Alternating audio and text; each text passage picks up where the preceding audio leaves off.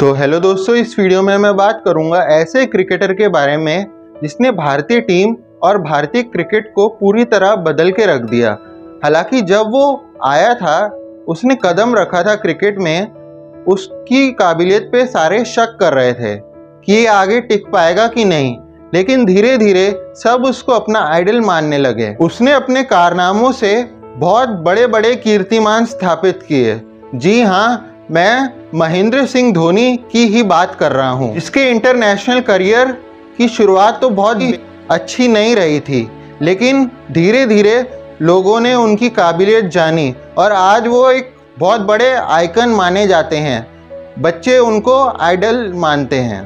तो उनके करियर में रोशनी डालने से पहले थोड़ी उनकी अर्ली लाइफ के बारे में जानते हैं। चलिए।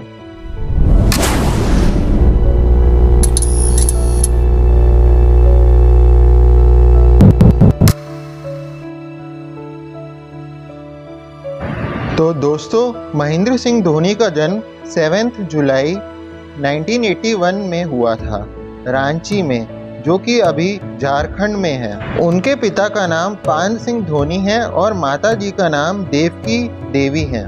वो घर में सबसे छोटे भाई थे। उनसे बड़े नरेंद्र सिंह धोनी थे। लेकिन बहुत से लोग उनके भाई के बारे में नहीं जानते इतना। और उनकी बहन का नाम जयंती है। महेंद्र सिंह धोनी अपने बचपन में एक फुटबॉलर बनना चाहते थे, लेकिन उनके कोच ने ये मना किया और उनको एक क्रिकेटर बनाने की कोशिश की। उसमें भी उन्होंने धोनी को विकेट कीपिंग पे ज़्यादा फोकस करने को कहा। धोनी बचपन में पढ़ाई के साथ साथ क्रिकेट भी खेला करते थे और उनके मार्क्स भी ठीक ठाक ही आते थे एग्ज़ाम्स में। जिसकी वजह से उनको उनके पिता से परमिशन मिल जाती थी खेलने की। धोनी को हेलीकॉप्टर शॉट सिखाने वाले उनके दोस्त थे, जिनका नाम संतोष लाल था। जी हाँ उन्होंने ही सिखाया था धोनी को हेलीकॉप्टर शॉट धोनी को पहले नहीं आता था। कुछ सालों बाद धोनी को रेलवे की तरफ़ से खेलने का मौका मिला, एक शर्त पे कि उनको रेलवे के लिए काम भी करना पड़ेगा। इसकी वजह से धोनी टिकट कलेक्टर भी बने। डोमेस्टिक में इतना अच्छा परफॉर्म करने के बाद उनको लगा कि उनका नाम अंडर 19 स्क्वाड में आएगा, पर नहीं आया। और 2001 में दिलीप ट्रॉफी के लिए जब उनका नाम आया तो उनकी फ़्लाइट मिस हो गई।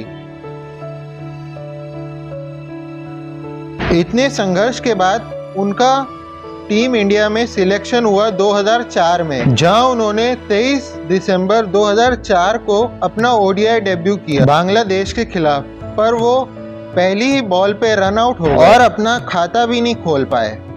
धोनी ने अपने पहले पाँच मैच में सिर्फ़ 19 रन मारे और इतने रन काफ़ी थे उनको टीम से बाहर निकालने के लिए, लेकिन दादा यानी सौरव गांगुली ने धोनी को सपोर्ट किया और अपनी जगह छोड़ के उन्होंने धोनी को तीसरे नंबर पे भेजा। जहाँ 2005 में विशाखापट्टनम में धोनी ने अपनी सबसे बड़ी पारी खेली उस वक्त की, जहाँ उन्होंने 148 रन मारे थे पाकिस्तान के खिलाफ और इस पारी ने उनकी जगह पक्की कर दी थी इंडियन टीम में। उसी के बाद उन्होंने एक और बहुत बड़ी पारी खेली 183 रन्स की श्रीलंका के खिलाफ 2005 में, जो कि उनके करियर का सबसे बड़ा स्कोर माना जाता है। धोनी ने 2005 में ही अपना टेस्ट डेब्यू भी किया, जहाँ पे उन्होंने पाकिस्तान के खिलाफ फिर से 148 की पारी खेली। वो भी 153 बॉल्स में। इस पारी ने धोनी की टेस्ट टीम में भी जगह पक्की कर दी। फिर आता है 2007 का ओडीआई वर्ल्ड कप जिसमें टीम इंडिया ने बहुत बुरा प्रदर्शन किया। Team India?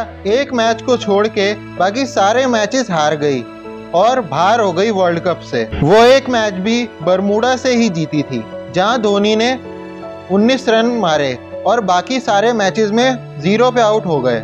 इस हार का एक कारण धोनी को भी माना गया क्योंकि लोग उनसे बहुत ज़्यादा एक्सपेक्ट कर रहे थे। लोगों ने उनके घर के आगे पुतले भी जलाए धोनी के। और घर को भी बहुत नुकसान पहुँचाया। उनके परिवार वालों को फिर पुलिस सिक्योरिटी में रहना पड़ा कुछ दिन तक, जबकि धोनी अपने परिवार से दूर वेस्ट इंडीज में वर्ल्ड कप खेल रहे थे। फिर इस वर्ल्ड कप के बाद एक और वर्ल्ड कप खेला जाना था, जो कि टी ट्वेंटी वर्ल्ड कप था 2007 में ही, जिसमें सचिन द्रविड़ और गांगुली ने खेलने से मना कर दिया था। फिर बीसीसीआई के सामने एक दिक्कत आई टीम का कैप्टन किसको चुना जाए इस टी ट्वेंटी वर्ल्ड कप के लिए? तब जाके सचिन और सौरभ ने बीसीसीआई को धोनी का नाम सजेस्ट किया। हालाँकि उनकी टीम में और भी लोग थे जो कि कैप्टन बन सकते थे जैसे कि युवराज सहवाग भज्जी और गौतम गंभीर जैसे प्लेयर पर उन दोनों ने धोनी का ही नाम सजेस्ट किया बीसीसीआई को। और धोनी पहली बार कैप्टन बने। उन्होंने पहले कभी कैप्टनसी नहीं की और जो धोनी का पहला मैच था एज अ कैप्टन स्कॉटलैंड के खिलाफ वो बारिश की वजह से रद्द हो गया। और टीम इंडिया को अपना पॉइंट स्कॉटलैंड के साथ शेयर करना पड़ा। और टीम इंडिया का दूसरा मैच पाकिस्तान के खिलाफ हुआ जो कि टाई हुआ। फिर उसका रिज़ल्ट निकालने के लिए ऑल आउट यूज़ किया गया जिसमें इंडिया 3-0 से पाकिस्तान से जीत गया। और फिर सब बड़ी टीमों को हरा के टीम इंडिया फाइनल में पहुँची, जहाँ पे उनका सामना हुआ फिर से पाकिस्तान के खिलाफ। और फाइनल में दोबारा पाकिस्तान को हराकर ये टीम विश्व विजेता बनी पहली बार टी ट्वेंटी की। फिर इनका स्वागत बड़े सम्मान से किया गया भारत में। फिर 2008 में आईपीएल की शुरुआत हुई, जहाँ पे ऑक्शन पे वो सबसे महँगे बिके और वो पहले ऐसे खिलाड़ी बने जिसके लिए हर एक टीम ने बोली लगाई थी। पर उनको चेन्नई सुपर किंग्स ने खरीदा और अपनी टीम का कैप्टन बनाया। और 2008 के अंदर ही उनकी टीम फाइनल में पहुँची, पर राजस्थान रॉयल से वो हार गए। 2009 में धोनी वो पहले खिलाड़ी बने जो सिर्फ़ 42 मैचेस में ही ओडीआई के नंबर वन बल्लेबाज बन चुके थे, और उन्होंने अपनी ये पोजीशन 2010 तक अपने पास रखी।